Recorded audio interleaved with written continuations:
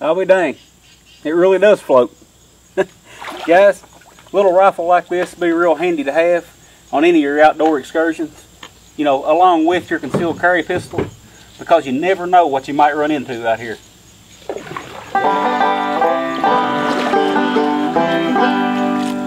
Come here, boy. You sure got a pretty mount. That survival rifle ain't gonna do you no good here.